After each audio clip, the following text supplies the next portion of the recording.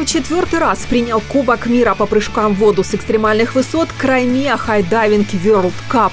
Соревнования прошли 12 сентября на главной набережной Ялты при поддержке главы Республики Крым Сергея Аксенова. В этом году участники совершали прыжки с первой в мире модульной вышки высотой 27 метров, проект которой разработан и реализован крымской командой специалистов.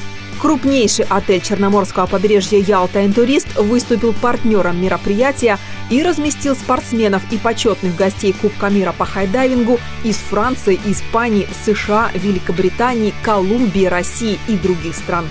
Накануне финала спортсмены готовились на многофункциональных площадках отеля «Ялта Интурист», и отрабатывали прыжки в воду в единственном на полуострове прыжковом бассейне отеля «Ялта Интурист». Жеребьевка Кубка мира по хайдайвингу также прошла в аквакомплексе отеля «Ялта Интурист».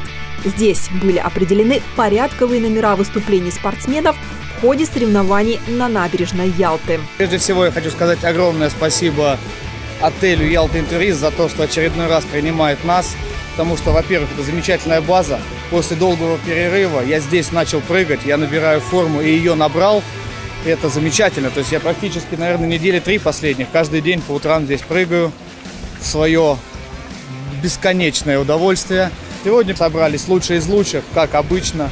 Прошла жеребьевка, мы все удивились, очень много людей, классно, позитивно. Физкульт, привет гостям Ялты Интурист.